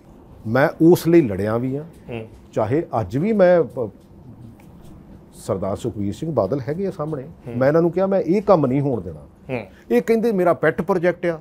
ਮੈਂ ਕਿਹਾ ਮੇਰਾ ਪੈਟ ਪ੍ਰੋਜੈਕਟ ਆ ਤੁਹਾਡਾ ਪੈਟ ਪ੍ਰੋਜੈਕਟ ਹੋਊਗਾ ਤੇ ਮੇਰੇ ਪੈਟ ਪਿੰਡ ਹੈਗੇ ਆ। ਜਿਨ੍ਹਾਂ ਨੇ ਮੈਨੂੰ ਸਪੋਰਟ ਕੀਤਾ ਜਿਹਦੇ ਲਈ ਮੈਂ ਖੜਾ ਹੋਇਆ ਤੇ ਜੇ ਮੈਂ ਅੱਜ ਉਹਨਾਂ ਲਈ ਖੜਾ ਨਹੀਂ ਹੁੰਦਾ ਬਈ ਵਿਆਹਾਂ ਵਿਆਹਾਂ ਭੋਗਾਂ ਤੇ ਤਾਂ ਖੁਸਰੇ ਵੀ ਚਲੇ ਜਾਂਦੇ ਫਿਰ ਲੀਡਰ ਦਾ ਕਰਾਉਣਾ ਕੀ ਆ? ਪ੍ਰਗਟ ਜੀ ਲੌਜੀਕ ਤੁਸੀਂ ਵੀ ਕੱਢ ਹੀ ਲਿਆ। ਨਹੀਂ ਲੌਜੀਕ ਨਹੀਂ ਜਾਂ 50 ਪਿੰਡਾਂ ਦੀ ਗੱਲ ਸੀ ਜਿੱਥੇ ਲਾ ਰਹੇ ਸੀ। ਪਾਰਟੀਆਂ ਛੱਡਦੇ ਆ ਉਹ ਉਹਨਾਂ ਦੇ ਕੋਲ ਕੋਈ ਨਾ ਕੋਈ ਤਾਂ ਪਿੱਛੇ ਇਸ ਤਰੀਕੇ ਦੀ ਗੱਲ ਹੁੰਦੀ ਹੈ ਨਹੀਂ ਕਿ ਨਹੀਂ ਸਾਡੀ ਆ ਹੁਣ ਜਿਹੜੇ। ਦੋ ਦੋ ਦੋ ਦੋ ਵਾਰੀ ਛੱਡ ਗਏ। ਜੀ। ਯਾਰ ਦੇਖੋ ਇਹ ਤਾਂ ਇਹ ਤਾਂ ਬੇਸਿਕਲੀ ਮੈਂ ਕਹਿੰਦਾ ਯਾਰ ਉੱਥੇ ਤੁਸੀਂ ਮੇਰੇ ਹਲਕੇ ਨੇ ਜਿਤਾਇਆ ਮੈਨੂੰ ਕਿਉਂ? ਜੇ ਉਸ ਉਹਦੀ ਹਿਸਟਰੀ ਕੱਢ ਕੇ ਦੇਖ ਲਓ ਉਸ ਸੀਟ ਦੀ 52 ਤੋਂ ਬਾਅਦ ਇੱਕ ਵਾਰੀ ਇੱਕੋ ਵਾਰੀ ਬੰਦਾ ਐਮਐਲਏ ਬਣਿਆ ਉਸ ਤੋਂ ਬਾਅਦ ਦੂਜੀ ਵਾਰੀ ਨਹੀਂ ਬਣਿਆ। ਮੈਂ ਪਿਛਲੀ ਨੇਰੀ ਦੇ ਵਿੱਚ ਵੀ ਇਸ ਕਰਕੇ ਪੜਿਆ ਵੀ ਯਾਰ ਮੈਂ ਖੜਦਾ। ਮੈਂ ਇਸ਼ੂਜ਼ ਤੇ ਖੜਦਾ, ਮੈਂ 50 ਪਿੰਡਾਂ ਦੀ ਸਿਹਤ ਨਾਲ ਖਿਲਵਾੜ ਨਹੀਂ ਕਰ ਸਕਦਾ ਸੀ। ਉੱਥੇ ਡੈਰੀ ਫਾਰਮ ਸੀ, ਜਿੱਥੇ 18 ਤੋਂ 20 ਹਜ਼ਾਰ ਡੰਗਰ ਸੀ। ਉਹਨਾਂ ਦੀ ਉਹਨਾਂ ਦੀ ਜਾਨ ਮੈਂ ਖਤਰੇ 'ਚ ਨਹੀਂ ਪਾ ਸਕਦਾ ਸੀ। ਮੇਰੇ ਤੇ ਇਲਜ਼ਾਮ ਲੱਗੇ ਵੀ ਇਹਨੇ ਉੱਥੇ ਲੱਗਣ ਨਹੀਂ ਦਿੱਤਾ, ਉਹਨੇ ਇਹ ਕੀਤਾ, ਉਹ ਕੀਤਾ। ਯੈਸ ਮੈਂ ਇਹ ਖੜ ਕੇ ਕਿਹਾ ਵੀ ਨਹੀਂ ਹੋਣ ਦੇਣਾ ਚਾਹੇ ਜੋ ਮਰਜ਼ੀ ਹੋ ਜਵੇ ਜਿੰਨਾ ਚਿਰ ਇਹ ਵਿੱਚ ਹੈਗਾ। ਉਹਨਾਂ ਚਿਰ ਨਹੀਂ ਹੋਣ ਨਹੀਂ ਫਿਰ ਤੁਸੀਂ ਜੀਤ ਮਹਿੰਦਰ ਸਿੱਧੂ ਦੇ ਲਈ ਕੀ ਕਹੋਗੇ? ਬਠਿੰਡਾ ਤੋਂ ਪਾਰਟੀ ਨੇ ਟਿਕਟ ਦਿੱਤੀ ਹੈ। ਨਹੀਂ ਜੀਤ ਮਹਿੰਦਰ ਸਿੱਧੂ ਵੀ 15 ਦਿਨ ਪਹਿਲਾਂ ਹੀ ਆਏ ਸੀਗੇ। ਮੈਂ ਉਹੀ ਕਹਿ ਰਿਹਾ ਕਿ ਤੁਹਾਡੀ ਪਾਰਟੀ ਵੀ ਉਸੇ ਲਾਈਨ ਪਰ ਹੈ ਨਾ ਜਿਹੜੀ ਜਿਹਨੂੰ ਲੈ ਕੇ ਤੁਸੀਂ ਬਾਕੀਆਂ ਪਰ ਸਵਾਲ ਚੁੱਕਦੇ ਹੋ। ਮੈਂ ਤਾਂ ਮੈਂ ਪਹਿਲਾਂ ਹੀ ਗੌਰਵ ਜੀ ਮੈਂ ਪਹਿਲਾਂ ਹੀ ਅਕ੍ਰੋਸ ਦਾ ਪਾਰਟੀ ਲਾਈਨ ਕਿਹਾ। ਮੈਂ ਕਦੋਂ ਨਹੀਂ ਕਿਹਾ। ਤੁਸੀਂ ਦਲ ਬਦਲੂਆਂ ਦੇ ਬੜੇ ਤਿੱਖਾ ਬੋਲੇ ਹੋ ਪਿਛਲੇ ਕੁਝ ਟਾਈਮ ਦੇ ਵਿੱਚ। ਬਿਲਕੁਲ ਫਿਰ ਬੋਲਿਆ। ਉਹਨਾਂ ਦੇ ਵਿੱਚ ਉਹ ਵੀ ਹੈਗੇ ਨੇ ਜਿਹੜੇ ਤੁਹਾਡੀ ਪਾਰਟੀ ਦੇ ਵਿੱਚ ਆ ਗਏ ਟਿਕਟਾਂ ਲੈ ਗਏ। ਨਹੀਂ ਪਰ ਮੈਂ ਗੌਰਵ ਜੀ ਕਦੋਂ ਕਿਹਾ? ਫਿਰ ਇਹਦਾ ਮਤਲਬ ਇਹ ਹੈ ਕਿ ਤੁਸੀਂ ਆਪਣੇ ਜਿਹੜੇ ਪਾਰਟੀ ਦੇ ਉਮੀਦਵਾਰ ਨੇ ਉਹਨਾਂ ਦੇ ਪੱਖ ਦੇ ਵਿੱਚ ਤੁਸੀਂ ਨਹੀਂ ਹੈਗੇ। ਯਾਰ ਮ- ਮੈਂ ਤਾਂ ਅਪੀਲ ਕਰ ਕੀਤੀ ਵੀ ਜੇ ਤੁਹਾਨੂੰ ਲੱਗਦਾ ਇਹਨਾਂ ਨੇ ਦਲ ਬਦਲੀ ਇਲੌਜੀਕਲ ਕੀਤੀ ਆ। ਜਿਹਦਾ ਕੋਈ ਰੀਜ਼ਨ ਨਹੀਂ ਹੈਗਾ ਤੇ ਨਾ ਪਾਓ। ਚਲੋ ਮੈਂ ਦਲ ਬਦਲੂਆਂ ਤੇ ਆਵਾਂ ਮੈਂ ਇੱਕ ਛੋਟਾ ਜਿਹਾ ਸਵਾਲ ਤੁਸੀਂ ਗੁਲਦਸਤੇ ਦਾ ਬੜਾ ਜ਼ਿਕਰ ਕੀਤਾ। ਜਦੋਂ ਗੁਲਦਸਤਾ ਪੰਜਾਬ 'ਚ ਬਣ ਰਿਹਾ ਸੀ ਤਾਂ ਸਭ ਤੋਂ ਅੱਗੇ ਪ੍ਰਗਟ ਸਿੰਘ ਦੀ ਆਵਾਜ਼ ਸੀ ਕਿ ਨਹੀਂ ਇੱਥੇ ਨਹੀਂ ਅਸੀਂ ਗੱਠਜੋੜ ਹੋਣ ਦੇਣਾ। ਕਿ ਜੇ ਇੰਨਾ ਤੁਹਾਨੂੰ ਬੀਜੇਪੀ ਨੂੰ ਲੈ ਕੇ ਡਿਕਟੇਟਰਸ਼ਿਪ ਲੱਗ ਰਹੀ ਹੈ ਤੁਹਾਨੂੰ ਲੱਗ ਰਿਹਾ ਕਿ ਉਹਨਾਂ ਦੇ ਖਿਲਾਫ ਇਕੱਠੇ ਹੋਣ ਦੀ ਲੋੜ ਹੈ ਤੁਹਾਨੂੰ ਲੱਗ ਰਿਹਾ ਕਿ ਅਲੱਗ-ਅਲੱਗ ਭਾਸ਼ਾਵਾਂ ਦੇ ਇਕੱਠੇ ਹੋ ਕੇ ਅਲੱਗ-ਅਲੱਗ ਪੂਰੇ ਦੇਸ਼ ਦੇ ਵਿੱਚੋਂ ਇਕੱਠੇ ਹੋ ਕੇ ਗੁਲਦਸਤਾ ਬਣ ਗਿਆ। ਪੰਜਾਬ 'ਚ ਕੀ ਹੋ ਗਿਆ ਉਸ ਗੁਲਦਸਤੇ ਨੂੰ? ਪੰਜਾਬ ਦੀ ਡੈਮੋਕ੍ਰੇਸੀ ਵੀ ਬਚਾਉਣੀ ਕਿ ਨਹੀਂ ਬਚਾਉਣੀ? ਪੰਜਾਬ ਦਾ ਪੋਲੀਟੀਕਲ ਸਿਸਟਮ ਵੀ ਬਚਾਉਣਾ ਕਿ ਨਹੀਂ ਬਚਾਉਣਾ? ਤੁਸੀਂ ਇਹ ਦੱਸ ਦਿਓ। ਪਹਿਲਾ ਬੰਦਾ ਆਪਣਾ ਘਰ ਬਚਾਉਂਦਾ ਕਿ ਨਹੀਂ ਪੰਜਾਬ 'ਚ ਬਚ ਰਿਹਾ ਚੰਡੀਗੜ੍ਹ 'ਚ ਨਹੀਂ ਬਚ ਰਿਹਾ। ਦਿੱਲੀ 'ਚ ਨਹੀਂ ਬਚ ਰਿਹਾ ਪੰਜਾਬ 'ਚ ਆ ਕੇ ਪ੍ਰੋਬਲਮ ਹੋ ਗਈ। ਮੈਂ ਦੇਖੋ ਜਿੰਨੀ ਮੇਰੀ ਗੌਰਵ ਜੀ ਜਿੱਥੇ ਆਵਾਜ਼ ਜਾਂਦੀ ਆ ਮੈਂ ਕਹਾ ਵੀ ਮੈਂ ਦਿੱਲੀ ਦੇ ਵੀ ਐ ਕਰ ਦੂੰਗਾ ਮੈਂ ਫਲਾਨਿਆਂ ਨੂੰ ਵੀ ਮੇਰੀ ਯਾਰ ਆਵਾਜ਼ ਅਜੇ ਛੋਟੀ ਜਿਹੀ ਆ। ਗੌਰਵ ਜੀ ਹੋਣ ਦਿਓ ਵੱਡੀ ਥੋੜੀ ਜੀ ਕੁਝ ਨਹੀਂ ਹੁੰਦਾ। ਨਹੀਂ ਨਹੀਂ ਆਵਾਜ਼ ਬਹੁਤ ਵੱਡੀ ਹੈ। ਤੁਸੀਂ ਇੰਟਰਨੈਸ਼ਨਲ ਨਹੀਂ ਪਲੇਅਰ ਦੇਖੋ- ਰਹੇ ਹੋ। ਦੇਖੋ ਦੇਖੋ ਹਰ ਫੀਲਡ ਦਾ ਨਾ ਇੱਕ ਉਹ- ਉਹਦੀ ਉਹਦਾ ਤਜਰਬਾ ਹੁੰਦਾ। ਮੇਰਾ ਇਸ ਫੀਲਡ ਦਾ ਹਜੇ 12 ਕੁ ਸਾਲ ਦਾ ਹੀ ਤਜਰਬਾ ਹੈਗਾ। ਮੇਰੀ ਦੂਸਰੀ ਫੀਲਡ ਦਾ ਤਜਰਬਾ ਠੀਕ ਹੈ। ਉਹ ਮੈਨੂੰ ਰੈਕੋਗਨਾਈਜੇਸ਼ਨ ਦਿੰਦੀ ਆ। ਅੱਛਾ ਮੈਨੂੰ ਲੱਗਿਆ ਵੀ ਯਾਰ ਮੈਨੂੰ ਖੇਡਣਾ ਚਾਹੀਦਾ। ਕਿਉਂ ਨਹੀਂ ਖੇਡਣਾ ਚਾਹੀਦਾ? ਅੱਛਾ ਬਾਕੀਆਂ 'ਚ ਕੀ ਏਡੀ ਲੰਮੀ ਚੌੜੀ ਗੱਲ ਹੈ ਜਿਹੜੀ ਮੇਰੇ 'ਚ ਨਹੀਂ ਹੈਗੀ। ਠੀਕ ਹੈ ਨਾ? ਔਰ ਖੇਡਾਂਗੇ ਲੌਜੀਕਲੀ ਖੇਡਾਂਗੇ ਟੀਮ ਬਣਾ ਕੇ। ਮੇਰਾ ਸਵਾਲ ਹਜੇ ਵੀ ਸਟੈਂਡ ਕਰਦਾ ਆਮ ਆਦਮੀ ਪਾਰਟੀ ਨਾਲ ਅਜਿਹਾ ਕੀ ਸੀ ਕਿ ਪੰਜਾਬ ਦੇ ਵਿੱਚ ਕਾਂਗਰਸ ਦੇ ਵਿੱਚੋਂ ਜਿਨ੍ਹਾਂ ਨੇ ਝੰਡਾ ਚੁੱਕਿਆ ਕਿ ਨਹੀਂ ਇਹਨਾਂ ਨਾਲ ਗੜਜੋੜ ਨਹੀਂ ਚਾਹੀਦਾ ਉਹਨਾਂ ਦੇ ਵਿੱਚੋਂ ਤੁਸੀਂ ਸੀ? ਬਹੁਤ ਖੁੱਲ ਕੇ ਬੋਲ ਰਹੇ ਸੀ। ਮੈਂ ਪਹਿਲਿਆਂ ਚੋਂ ਸੀਗਾ। ਪਹਿਲਿਆਂ ਚੋਂ ਕਹਿੰਦਾ ਮੈਂ ਕਦੋਂ ਕਹਿੰਦਾ ਕਿਉਂਕਿ ਪੰਜਾਬ ਦੀ ਪਿਛਲੇ 2 ਸਾਲਾਂ 'ਚ ਜਾਂ 25 ਮਹੀਨਿਆਂ 'ਚ ਜਿਹੜੇ ਕਹਿੰਦੇ ਸੀ 20000 ਕਰੋੜ ਰੁਪਏ ਦਾ ਰੇਤਾ ਤੋਂ ਰੈਵਨਿਊ ਲਿਆਵਾਂਗੇ। 472 ਕਰੋੜ ਰੁਪਈਆ 2 ਸਾਲਾਂ 'ਚ ਆਇਆ। ਜਿਹੜੇ ਕਹਿੰਦੇ ਸੀ 35000 करोड़ रुपया तो हमारे पास ऑलरेडी है करप्शन से लेके आएंगे आ गया 80000 ਕਰੋੜ ਰੁਪਏ ਦਾ ਕਹਿੰਦੇ ਸੀ ਪੋਜ਼ਿਟਿਵ ਬਜਟ ਲੈ ਕੇ ਆਵਾਂਗੇ 80000 ਕਰੋੜ ਰੁਪਏ ਦਾ 2 ਸਾਲਾਂ ਚ ਲੋਨ ਲਿਆ ਕੌਣ ਕਹਿ ਰਿਹਾ ਸੀ ਪ੍ਰਗਟ ਸਿੰਘ ਜੀ ਕੇਜਰੀਵਾਲ ਜੀ ਉਹ ਦਿੱਲੀ ਚ ਆ, ਉੱਥੇ ਸਮਝੌਤਾ ਹੈ ਨਹੀਂ ਸਮਝੇ ਨਹੀਂ ਸੁਪਰੀਮੋ ਕਿੱਥੋਂ ਚੱਲਦੀ ਹੈ ਪਾਰਟੀ ਤੁਸੀਂ ਦੱਸ ਦਿਓ ਕਿੱਥੋਂ ਚੱਲਦੀ ਹੈ ਇਤਰਾਜ਼ ਕਿਹਦੇ ਪਰ ਸੀ ਮੈਂ ਹਜੇ ਵੀ ਨਹੀਂ ਸਮਝ ਪਾਇਆ ਕਿ ਦਿੱਲੀ ਵਾਲਿਆਂ ਦੇ ਬਿਆਨਾਂ ਤੇ ਇਤਰਾਜ਼ ਸੀ ਜਾਂ ਪੰਜਾਬ ਵਾਲਿਆਂ ਦੀ ਕਾਰਗੁਜ਼ਾਰੀ ਤੇ ਇਤਰਾਜ਼ ਪੰਜਾਬ ਦੀ ਕਾਰਗੁਜ਼ਾਰੀ ਤੇ ਇਤਰਾਜ਼ ਹੂੰ ਕਿਉਂਕਿ ਪੰਜਾਬ ਦੇਖੋ ਆਪਣਾ ਘਰ ਵੀ ਤਾਂ ਬਚਾਵਾਂਗੇ ਨਾ। ਪੰਜਾਬ ਦੀ ਕਾਰਗੁਜ਼ਾਰੀ ਤੇ ਇਤਰਾਜ਼। ਗੌਰਵ ਜੀ 100 ਕਰੋੜ ਰੁਪਈਆ ਲਗਭਗ ਬਜਟ ਜਿਹੜਾ ਆ ਉਹ ਸਾਰੀਆਂ ਸਰਕਾਰਾਂ ਕਰਦੀਆਂ ਮੈਂ ਨਹੀਂ ਕਹਿੰਦਾ ਕੋਈ ਸਰਕਾਰ ਕੋਈ ਇਦਾਂ ਦੀ ਨਹੀਂ ਹੁੰਦੀ ਵੀ ਜਿਹੜੀ ਆਪਣੀ ਪਬਲਿਸਿਟੀ ਨਹੀਂ ਕਰਦੀ। ਪਰ 900 ਕਰੋੜ ਰੁਪਏ ਦਾ ਬਜਟ ਜਿਹੜਾ 500 ਕਰੋੜ ਰੁਪਈਆ ਪੰਜਾਬ ਤੋਂ ਬਾਹਰੋਂ ਜਾਂਦਾ। ਸਾਨੂੰ ਹੈਲੀਕਾਪਟਰ ਬਹੁਤ ਹੈ ਪੰਜਾਬ 'ਚ ਘੁੰਮਣ ਲਈ ਚੀਫ ਮਿਨਿਸਟਰ ਨੂੰ। ਸਾਨੂੰ ਫਿਕਸ ਵਿੰਗ 에ਅਰਕ੍ਰਾਫਟ ਨਹੀਂ ਚਾਹੀਦਾ ਜਿਹੜਾ ਸਿਰਫ ਤੇ ਸਿਰਫ ਫੇਰੀ ਕਰਨਾ ਹੈਗਾ ਆਪਣੇ ਸੁਪਰੀਮੋ ਲਈ। ਮੈਂ ਨਹੀਂ ਚਾਹੀਦਾ।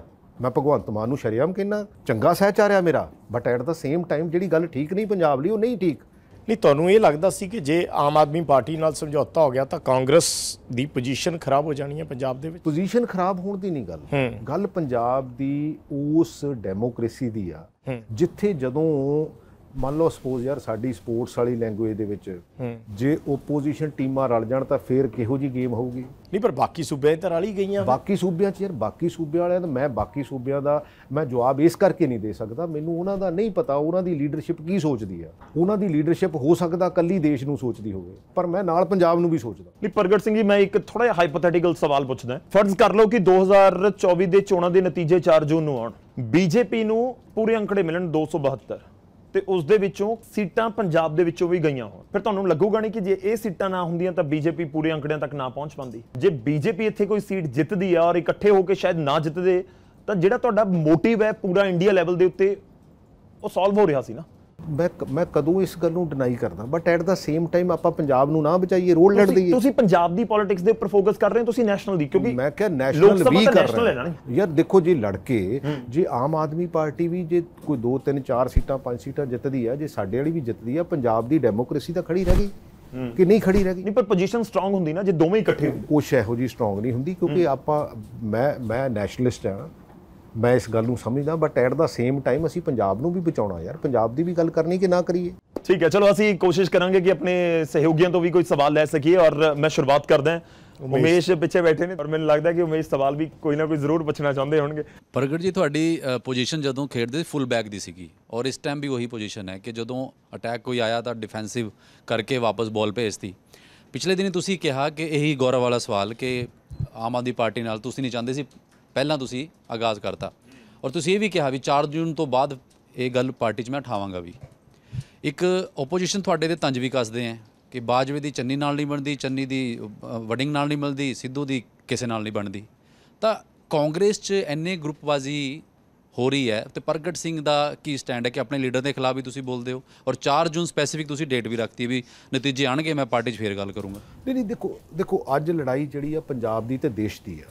ਉਮੇਸ਼ ਜੀ, ਮੈਂ ਬੜਾ ਕਲੀਅਰ ਹਾਂ ਕਿ ਚਾਹੇ ਉਹ ਮੇਰਾ ਦੋਸਤ ਹੋਵੇ, ਚਾਹੇ ਉਹ ਕੋਈ ਹੋਵੇ, ਜਿਹੜਾ ਪੰਜਾਬ ਦੀ ਗੱਲ ਕਰੂਗਾ, ਚਾਹੇ ਦੂਸਰੀ ਪਾਰਟੀ ਦਾ ਹੋਵੇ, ਮੈਂ ਉਹਨੂੰ ਵੀ ਪ੍ਰੇਜ਼ ਕਰੂੰਗਾ। ਮੈਂ ਉਹਨੂੰ ਵੀ ਕਹੂੰਗਾ ਵੀ ਇਹਨੇ ਗੱਲ ਠੀਕ ਕੀਤੀ ਹੈ। ਜਿਹੜਾ ਪੰਜਾਬ ਲਈ ਨਹੀਂ ਖੜਦਾ, ਜਿਹੜਾ ਦੇਸ਼ ਲਈ ਨਹੀਂ ਖੜਦਾ, ਮੈਂ ਉਹ ਚਾਹੇ ਮੇਰੀ ਪਾਰਟੀ ਦਾ ਹੋਵੇ, ਚਾਹੇ ਮੇਰੇ ਘਰ ਦਾ ਹੋਵੇ, ਚਾਹੇ ਮੇਰਾ ਦੋਸਤ ਹੋਵੇ, ਮੈਂ ਉਹਨੂੰ ਪਬਲਿਕਲੀ ਯੈਸ ਕਹੂੰਗਾ ਕਿ ਹਾਂ ਵੀ ਇਹ ਗੱਲ ਗਲਤ ਹੈ। ਇਹ ਮੇਰੀ ਕਨਵਿਕਸ਼ਨ ਹੈ। ਮੈਂ ਇਦਾਂ ਸੋਚਦਾ ਆ ਇੱਕ ਛੋਟਾ ਸਵਾਲ ਨਾਲ ਹੀ ਹੈ ਹਰ ਇੱਕ ਪਾਰਟੀ ਪੰਜਾਬ 'ਚ ਖਾਸ ਕਰ ਡਰੱਗਸ ਦਾ ਮੁੱਦਾ ਲੈ ਕੇ ਕਰਦੀ ਹੈ ਡਰੱਗਸ ਲਈ ਕੀ ਤੁਸੀਂ ਕਮੀਆਂ ਤੁਹਾਨੂੰ ਲੱਗਦਾ ਕਿ ਪ੍ਰਗਟ ਸਿੰਘ ਜਦੋਂ ਪਾਵਰ 'ਚ ਵੀ ਸੀਗੇ ਕੰਮ ਹੋਇਆ ਕਿੰਨਾ ਹੋਇਆ ਕਿੰਨਾ ਨਹੀਂ ਹੋ ਪਾਇਆ ਮਿੱਠਾਪੁਰ ਤੋਂ ਉੱਠਿਆ ਹੋਇਆ ਮੁੰਡਾ ਦੋ ਵਾਰ 올림픽 ਖੇਡੇ ਪਦਮ ਸ਼੍ਰੀ ਪਹੁੰਚੇ ਪਰ ਅੱਜ ਪੰਜਾਬ ਦੀ ਮੇਨ ਜਿਹੜੀ ਹੈਗੀ ਹੈ ਇੱਕ ਪ੍ਰੋਬਲਮ ਨਸ਼ਾ ਉਹ ਉੱਥੇ ਦਾ ਉੱਥੇ ਹੀ ਹੈ ਦੇਖੋ ਇਹ ਬਹੁਤ ਵਧੀਆ ਸਪੋਰਟਸ ਦੇ ਰਿਲੇਟਡ ਕਿਉਂਕਿ ਇਹ ਸਾਡੇ ਡਰੱਗਸ ਦੇ ਨਾਲ ਕਿਉਂਕਿ ਡਰੱਗਸ ਜਿਹੜੀਆਂ ਉਹ ਸਪੋਰਟਸ ਦੇ ਨਜ਼ਰੀਏ ਤੋਂ ਸਪੋਰਟਸ ਨੂੰ ਇੰਪਲੀਮੈਂਟ ਕਰਕੇ ਹੀ ਸਮਾਜ ਦੇ ਵਿੱਚੋਂ ਜਾ ਸਕਦੀਆਂ। It is a social cum administrative problem ਮੈਨੂੰ ਕਦੀ ਜ਼ਿੰਦਗੀ 'ਚ ਰਿਗਰੈਟ ਨਹੀਂ ਹੋਇਆ। ਲੇਕਿਨ ਇਸ ਚੀਜ਼ ਦਾ ਰਿਗਰੈਟ ਜ਼ਰੂਰ ਹੋਇਆ ਵੀ ਮੈਨੂੰ ਜਦੋਂ ਸੁਖਬੀਰ ਬਾਦਲ ਨੇ, ਮੈਂ ਡਾਇਰੈਕਟਰ ਸਪੋਰਟਸ ਸੀ, ਉਹ ਸਪੋਰਟਸ ਮਿਨਿਸਟਰ ਸੀ। ਜਦੋਂ ਮੈਂ ਇਹਦੇ ਵਿੱਚ ਆਇਆ ਤੇ ਮੈਂ ਇੱਕੋ ਹੀ ਗੱਲ ਕਹੀ ਸੀ ਵੀ ਮੇਰਾ ਸਪੋਰਟਸ ਦਾ ਸ਼ੌਂਕ ਨਾ ਮਾਰਿਓ। ਤੇ ਮੇਰਾ ਪਹਿਲਾ ਹੀ ਸਪੋਰਟਸ ਦਾ ਸ਼ੌਂਕ ਹੀ ਮਾਰਿਆ। ਸੱਚੀ ਗੱਲ ਹੈ ਮੈਨੂੰ ਇਸ ਚੀਜ਼ ਦਾ ਰਿਗਰੈਟ ਹੈਗਾ ਵੀ ਜੇ ਮੈਂ ਡਾਇਰੈਕਟਰ ਸਪੋਰਟਸ ਹੁੰਦਾ, ਚਲੋ ਮੇਰੀ ਰਿਟਾਇਰਮੈਂਟ ਭਾਵੇਂ 2026 ਚ ਸੀਗੀ, ਲੇਕਿਨ ਮੈਂ ਉਹਦੇ ਚ ਬਿਹਤਰ ਕੰਮ ਕਰ ਸਕਦਾ ਸੀ। ਪਹਿਲਾਂ ਇਹਨਾਂ ਨੇ ਸ਼ੌਂਕ ਮਾਰਿਆ, ਫਿਰ ਕੈਪਟਨ ਅਮਰਿੰਦਰ ਸਿੰਘ ਨੂੰ ਮੈਂ ਇੱਕੋ ਹੀ ਗੱਲ ਕਹੀ ਵੀ ਮੇਰਾ ਸਪੋਰਟਸ ਦਾ ਸ਼ੌਂਕ ਨਾ ਮਾਰਿਓ, ਉਹਨੇ ਵੀ ਮਾਰਿਆ। ਸੋ ਮੈਨੂੰ ਤਾਂ ਇਦਾਂ ਲੱਗਦਾ ਕਿ ਜਿੱਥੇ ਜਿੱਥੇ ਵੀ ਜਿੱਥੇ ਜਿੱਥੇ ਵੀ ਖੜੇ ਹੋਈਏ, ਜੋ ਕਰ ਸਕਦੇ ਹੋਈਏ, ਪਰ ਹਾਂ ਪੰਜਾਬ ਨੂੰ ਸਪੋਰਟਸ ਦੀ ਬਹੁਤ ਜ਼ਰੂਰਤ ਹੈ ਐਗਰੈਸਿਵ ਸਟੇਟ ਹੈ ਐਗਰੈਸ਼ਨ ਸਾਡੇ ਬਲੱਡ ਦੇ ਵਿੱਚ ਹੈਗੀ ਆ। ਉਹ ਕਿਤੇ ਨਾ ਕਿਤੇ ਜਦੋਂ ਉਦਾਸੀ 'ਚ ਜਾਂਦਾ ਤੇ ਫਿਰ ਕਿਤੇ ਨਾ ਕਿਤੇ ਨਸ਼ਿਆਂ ਦੀ ਭੇਟ ਚੜ ਜਾਂਦਾ। It is a social cum administrative problem ਜਿਹੜੇ ਕਈ ਲੀਡਰ ਕਹਿੰਦੇ ਆ ਕਿ ਅਸੀਂ 4 ਹਫ਼ਤਿਆਂ 'ਚ ਖਤਮ ਕਰ ਦਾਂਗੇ 4 ਮਹੀਨਿਆਂ 'ਚ ਖਤਮ ਕਰ ਦਾਂਗੇ they have no vision at all ਇਹ ਇਦਾਂ ਨਹੀਂ ਹੋਣਾ। ਇਹ ਟੀਮਾਂ ਬਣਾ ਕੇ ਹੀ ਅੱਗੇ ਸਾਨੂੰ ਵਧਣਾ ਪੈਣਾ। ਪ੍ਰਗਟ ਜੀ, ਅਗਲੀ ਵਾਰ ਤੁਸੀਂ ਇਹ ਜ਼ਰੂਰ ਕਹੋ ਕਿ ਮੈਨੂੰ ਸਪੋਰਟਸ ਨਾ ਦਿਓ, ਜੋ ਮਰਜ਼ੀ ਹੋ ਜਾਵੇ। ਸ਼ਾਇਦ ਧੱਕੇ ਨਾਲ ਦੇ ਦੇ। ਚਲੋ ਇਹ ਇਹ- ਵੱਡਾ ਕੰਮ ਹੋ ਗਿਆ ਕਿ ਇਹ- ਸਪੋਰਟਸ ਦੀ ਦਵਾਂਗੇ ਇਹ ਡਿਪੈਂਡ ਕਰਦਾ। ਵਿਦੇਸ਼ ਸਾਡੇ ਸਹਿਯੋਗੀ ਨੇ। ਪ੍ਰਗਟ ਜੀ ਤੁਸੀਂ 2012 ਵਿੱਚ ਪੋਲਿਟਿਕਸ ਵਿੱਚ ਐਂਟਰੀ ਮਾਰੀ ਅਕਾਲੀ ਦਲ ਤੋਂ। ਉਸ ਤੋਂ ਬਾਅਦ ਕਾਂਗਰਸ 'ਚ ਤੁਸੀਂ ਸ਼ਾਮਿਲ ਹੋਏ। ਜੇ ਮੈਂ ਓਵਰਆਲ ਇਹਨਾਂ ਦੋਨੋਂ across party line party chief ਅਧਿਕਸ਼ਾਂ ਦੀ ਗੱਲ ਕਰਾਂ ਪੰਜਾਬ ਦੇ ਸੁਖਬੀਰ ਸਿੰਘ ਬਾਦਲ ਕੈਪਟਨ ਅਮਰਿੰਦਰ ਸਿੰਘ, ਸੁਨੀਲ ਜਾਖੜ, ਹੁਣ ਰਾਜਾ ਵੜਿੰਗ ਨੌਜਵਾਨ ਹੈ, ਤੁਹਾਡੇ ਤੋਂ ਵੀ ਕਾਫੀ ਯੰਗ ਹੈ।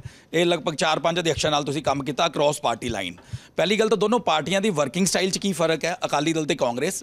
ਹਾਲਾਂਕਿ ਫ਼ਰਕ ਹੋਏਗਾ ਆਬਵੀਅਸਲੀ ਕਿਉਂਕਿ ਅਕਾਲੀ ਦਲ ਇੱਕ ਟੋਟਲੀ ਰੀਜਨਲ ਪਾਰਟੀ ਹੈ, ਕਾਂਗਰਸ ਬਹੁਤ ਬ੍ਰੌਡ ਪਾਰਟੀ ਹੈ। ਤੇ ਦੂਸਰਾ, ਇਹ ਚਾਰਾਂ ਅਧਿਕਸ਼ਾਂ ਦੀ ਵਰਕਿੰਗ ਸਟਾਈਲ ਵਿੱਚ ਕੀ ਫ਼ਰਕ ਹੈ? ਤੇ ਤੁਸੀਂ ਸਭ ਤੋਂ ਵੱਧ ਕਿੰਨੇ ਨਾਲ ਕੰਫਰਟੇਬਲ ਫੀਲ ਕਰਦੇ ਹੋ? ਨਹੀਂ, ਦੇਖੋ, ਮੈਂ ਰਿਐਲਿਟੀ ਇਹ ਆ ਕਿ ਬਹੁਤ ਕੰਫਰਟੇਬਲ ਫੀਲ ਕਰਦਾ ਨਹੀਂ। ਅੱਛਾ ਸਾ- ਸਾਰਿਆਂ ਨਾਲ ਪੰਗਾ ਹੀ ਰਹਿੰਦਾ ਹੈ। ਉਹਦਾ ਕਾਰਨ ਹੈ ਕਿ ਮੇਰੀ ਸੈਟੀਸਫੈਕਸ਼ਨ ਦਾ ਲੈਵਲ ਕਾਫੀ ਉੱਪਰ ਆ। ਬਹੁਤ ਬੰਦੇ ਇੰਡੀਵਿਜੂਅਲੀ ਗਰੋ ਕਰਨਾ ਚਾਹੁੰਦੇ ਉਹ ਕਹਿੰਦੇ ਕੈਪਟਨ ਜਿੱਤ ਜਵੇ ਤੇ ਬਾਕੀ ਸਾਰੇ ਹਾਰ ਜਾਣ ਜੋ ਪੋਲੀਟੀਕਲ ਮਾਈਂਡ ਸੈਟ ਆ। ਮੈਨੂੰ ਉਹਦੇ ਤੋਂ ਪ੍ਰੋਬਲਮ ਹੈ। ਮੈਂ ਇਹ ਕਹਿਣਾ ਹੁੰਦਾ ਕਿ ਟੀਮ ਬਣਾਓ ਔਰ ਆਪਣੀ ਆਪਣੀ ਸਾਈਡ ਤੇ ਖੇਡੋ।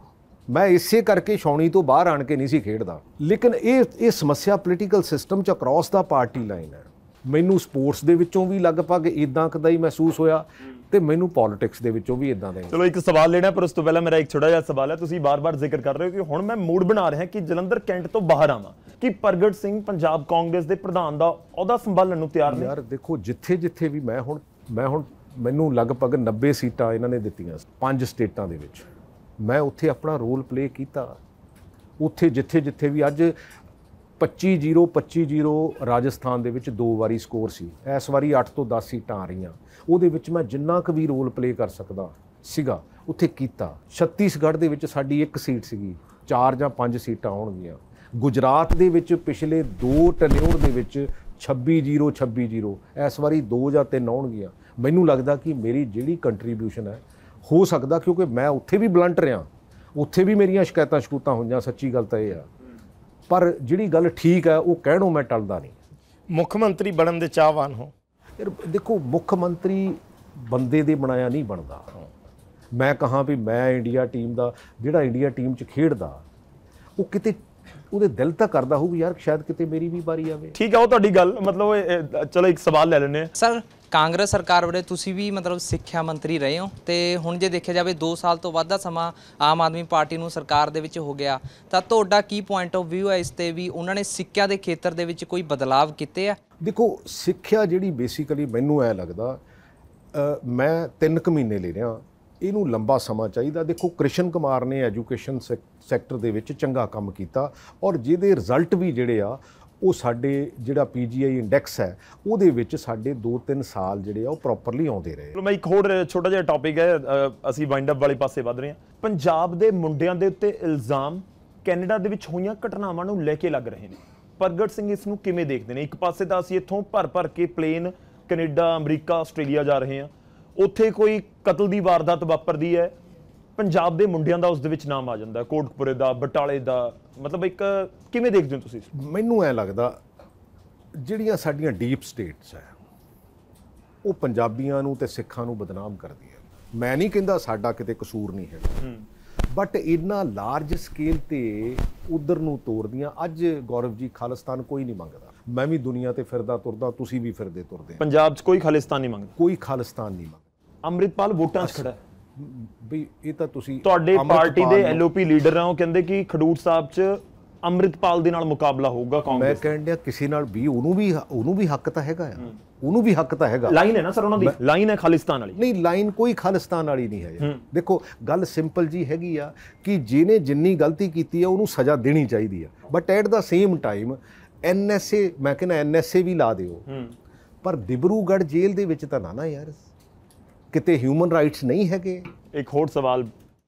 Hello sir sir Navjot Singh Sidhu ਤੁਹਾਡੇ ਬਹੁਤ ਕਰੀਬੀ ਨੇ ਤੇ ਤੁਹਾਡੇ ਅਕੋਰਡਿੰਗ ਉਹਨਾਂ ਦਾ ਸਿਆਸੀ ਫਿਊਚਰ ਕਿਵੇਂ ਦਾ ਹੋ ਸਕਦਾ? ਦੇਖੋ ਇਸ ਸਿਆਸੀ ਪਤਾ ਨਹੀਂ ਕਿਸ ਸਮੇਂ ਕੀ ਹੋ ਜਾਂਦਾ। ਕਈ ਵਾਰੀ ਨਾ ਬੰਦਾ ਚੌਕੇ ਛਿੱਕੇ ਕਈ ਵਾਰੀ ਆਮ ਹੀ ਮਾਰਨ ਲੱਗ ਪੈਂਦਾ। ਸੋ ਮੈਨੂੰ ਲੱਗਦਾ ਐਸ ਸਿਚੁਏਸ਼ਨ ਦੇ ਵਿੱਚ ਕਿਉਂਕਿ ਸਿੰਸ ਉਹਨਾਂ ਦੀ ਵਾਈਫ ਕੈਂਸਰ ਦੇ ਨਾਲ ਪੀੜਤ ਹੈਗੀ ਆ।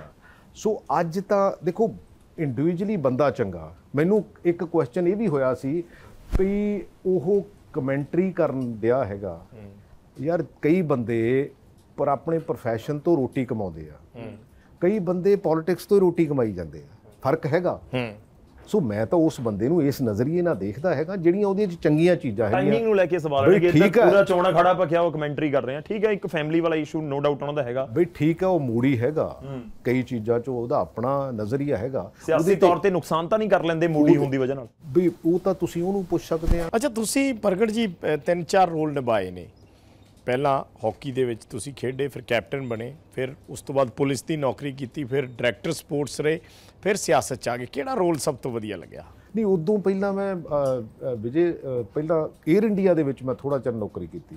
ਰੇਲਵੇਜ਼ ਦੇ ਵਿੱਚ ਨੌਕਰੀ ਕੀਤੀ ਪੰਜਾਬ ਅਲਕਲੀਜ਼ ਦੇ ਵਿੱਚ ਨੌਕਰੀ ਕੀਤੀ। ਬਹੁਤੇ ਮੇਰੇ ਤੇ ਤੁਸੀਂ ਉਹ ਇਲਜ਼ਾਮ ਨਹੀਂ ਲਾਇਆ ਬਹੁਤੇ ਇਹ ਵੀ ਇਲਜ਼ਾਮ ਲਾਉਂਦੇ ਵੀ ਕਿਤੇ ਟਿਕਦਾ ਨਹੀਂ ਹੈ। ਮੈਂ ਜਲੰਧਰ ਚ ਮਤਲਬ ਅੰਡਰ ਟ੍ਰੇਨਿੰਗ ਡੀਐਸਪੀ ਸੀਗਾ ਐਸਪੀ ਆਪਰੇਸ਼ਨ ਸੀਗਾ। ਉੱਥੇ ਮੈਨੂੰ ਐ ਲੱਗਿਆ ਕਿ ਯਾਰ ਇੱਥੇ ਜਿਹੜਾ ਗਰੀਬ ਆ ਉਹਨੂੰ ਤੁਸੀਂ ਇਨਸਾਫ ਦੇਣਾ ਔਖਾ ਲੱਗਦਾ ਤੇ ਅਮੀਰ ਨੇ ਕਿਸੇ ਨਾ ਕਿਸੇ ਪਾਸਿਓਂ ਤੁਹਾਡੇ ਨਾਲ ਧੱਕਾ ਧੁੱਕਾ ਕਰਕੇ ਵੀ ਮੇਰੇ ਵੱਸ ਦਾ ਇਹ ਰੋਗ ਨਹੀਂ ਹੈਗਾ। ਫਿਰ ਮੈਂ ਆਪਟ ਕੀਤਾ ਡਾਇਰੈਕਟਰ ਸਪੋਰਟਸ ਡਾਇਰੈਕਟਰ ਸਪੋਰਟਸ ਮੇਰਾ ਪੈਸ਼ਨ ਵੀ ਸੀ ਤਾਂ ਪ੍ਰੋਫੈਸ਼ਨ ਵੀ ਸੀ। ਉਹਦੇ ਵਿੱਚ ਫਿਰ ਮੈਂ ਕਿਉਂਕਿ ਉਦੋਂ ਅਕਾਲੀ ਦਲ ਦੀ ਸਰਕਾਰ ਸੀਗੀ। ਜੀ। ਤੇ ਮੈਂ ਜਿੰਨਾ ਕੁ ਵੀ ਮੈਨੂੰ ਸਮਝ ਆਈ ਮੈਂ ਉਹਦੇ ਮੁਤਾਬਕ ਕਿਉਂਕਿ ਦੁਨੀਆ ਦੇ ਉੱਤੇ ਜੋ ਹੋ ਰਿਹਾ ਸੀ ਮੈਂ ਸਪੋਰਟਸ ਦੇ ਵਿੱਚ ਉਹੀ ਇੰਪਲੀਮੈਂਟ ਕੀਤਾ ਚਾਹੇ ਥੋੜੇ ਲੈਵਲ ਤੇ ਕੀਤਾ ਕਿਉਂਕਿ ਜਿੰਨੇ ਰਿਸੋਰਸ ਹੈ ਸੂਬੇ ਦੇ ਤੁਸੀਂ ਉਹਦੇ ਨਾਲ ਹੀ ਕੰਮ ਕਰ ਸਕਦੇ ਹੋ। ਤੇ ਉਹਦਾ ਨਜ਼ਰੀਆ ਇਹ ਹੋਇਆ ਵੀ ਜਿਹੜੇ 2005-6 ਚ ਜਦੋਂ ਮੈਂ ਬਣਿਆ ਤੇ ਉਹ ਜਿਹੜੀ ਪਨੀਰੀ ਸਟਾਰਟ ਕੀਤੀ ਸੀ ਉਹ 2019 20 ਉਹਨਾਂ ਨੇ ਜਾ ਕੇ ਜਿਹੜਾ ਆ ਦੇਸ਼ ਲਈ ਜਿਹੜਾ ਮੈਡਲ ਹਾਕੀ ਦੇ ਵਿੱਚ ਆਇਆ। ਤੇ ਉਹ ਹੋਇਆ ਨਹੀਂ ਠੀਕ ਹੈ ਕਿਹਾ ਜਾਂਦਾ ਹੈ ਜ਼ਿਕਰ ਹੁੰਦਾ ਇਸ ਚੀਜ਼ ਦਾ ਚਲੋ, ਮੇਰਾ- ਚਲੋ ਆਪਾਂ ਵਾਈਂਡ ਅਪ ਵਾਲੇ ਪਾਸੇ ਆ ਪਰ ਮੈਂ ਥੋੜਾ ਜਿਹਾ ਕਿਉਂਕਿ ਸਿਆਸੀ ਖੇਡ ਦੀ ਤਾਂ ਬਹੁਤ ਗੱਲ ਹੋ ਗਈ ਹਾਕੀ ਦੀ ਵੀ ਗੱਲ ਕਰ ਲਈ ਕੋਈ ਕਿੱਸਾ ਤੁਹਾਨੂੰ ਯਾਦ ਹੋਵੇ ਜਿਹੜਾ ਤੁਸੀਂ ਸਾਂਝੀ ਕਰਨਾ ਚਾਹੋ। ਮੈਂ ਪੜ ਰਿਹਾ ਸੀ ਬਹੁਤ ਸਾਰੀਆਂ ਥਾਵਾਂ ਦੇ ਉੱਤੇ ਤੁਹਾਡੇ 1985 ਦਾ ਉਹ ਮੈਚ ਬਹੁਤ ਚਰਚਾ ਦੇ ਵਿੱਚ ਹਮੇਸ਼ਾ ਤੋਂ ਰਿਹਾ ਹੈ। ਜਿੱਥੇ ਤੁਸੀਂ 5-6 ਮਿੰਟ ਦੇ ਵਿੱਚ 3-4 ਗੋਲ ਕਰ ਦਿੱਤੇ। ਕੋਈ ਕੋਈ ਕਿੱਸਾ ਜਿਹੜਾ ਤੁਹਾਨੂੰ ਮੈਚ ਅੱਜ ਵੀ ਯਾਦ ਆਉਂਦਾ ਹੋਵੇ ਕਦੇ-ਕਦੇ ਸੁਪਨੇ ਦੇ ਵਿੱਚ ਆ ਜਾਂਦਾ ਹੋਵੇ ਕਿ ਤੁਸੀਂ ਫੇਰ ਹਾਕੀ ਦੀ ਸਟਿਕ ਲੈ ਕੇ ਮੈਦਾਨ 'ਚ ਉਤਰੇ ਹੋਏ ਹੋ। ਕੋਈ ਐਸੇ ਕੋਈ ਐਸਾ ਕਿੱਸਾ? ਨਹੀਂ ਦੇਖੋ ਸਮੇਂ-ਸਮੇਂ ਤੇ ਆਉਂਦੇ ਰਹੇ ਬਟ ਇੱਕ ਲਾਹੌਰ ਵਰਲਡ ਕੱਪ ਸੀ ਪਾਕਿਸਤਾਨ ਦੇ ਵਿੱਚ। ਜੀ। ਤੇ ਉੱਥੇ ਸਾਈਂ ਜੀ ਇੱਕ ਹੈਗੇ ਆ ਉਹ ਬੜੇ ਹਾਕੀ ਦੇ ਸ਼ੌਕੀਨ ਸੀ ਤਾਂ ਮੇਰੇ ਫੈਨ ਸੀ। ਠੀਕ ਹੈ। ਤੇ ਮੈਨੂੰ ਉਹਨਾਂ ਨੇ ਬੁਲਾਇਆ। ਪਹਿਲਾਂ ਤਾਂ ਇਹ ਸੀ ਵੀ ਉਹ ਉੱਥੇ ਉਹਨਾਂ ਦੇ ਘਰ ਖੁੱਲਾ ਸ਼ੇਰ ਸੀਗਾ ਤੇ ਜਦੋਂ ਅਸੀਂ ਉੱਥੇ ਅੰਦਰ ਗਏ ਤੇ ਬੈਠੇ ਜਦੋਂ, ਤੇ ਉਹ ਸਾਈਂ ਜੀ ਕਹਿੰਦੇ, ਮੈਂ 2 ਮਿੰਟ ਚ ਆਇਆ। ਤੇ ਉਹ ਇੱਧਰ ਦੀ ਨਿਕਲੇ ਤੇ ਇੱਧਰ ਦੀ ਸ਼ੇਰ ਆ ਗਿਆ। ਉਹ ਬੜੇ ਇਹੋ ਜਿਹੇ ਪਲ ਸੀਗੇ ਵੀ ਮੈਨੂੰ ਲੱਗਿਆ ਵੀ ਯਾਰ ਇਹ ਕਿਤੇ ਪਾਕਿਸਤਾਨ ਚ ਆਣ ਕੇ ਕੋਈ ਗੜਬੜੀ ਤੇ ਨਹੀਂ ਹੋ ਗਈ। ਤੇ ਲੇਕਿਨ ਇਹ ਆ ਕਿ ਉਹ, ਚਲੋ, ਉਹ ਤਾਂ ਇੱਕ ਨਜ਼ਰੀਆ ਸੀ ਤੇ ਮੈਨੂੰ ਸਾਈਂ ਜੀ ਕਹਿੰਦੇ ਵੀ ਸਰਦਾਰ ਸਾਹਿਬ ਕਾਹਦਾ ਸ਼ੌਂਕ ਰੱਖਦੇ ਹੋ?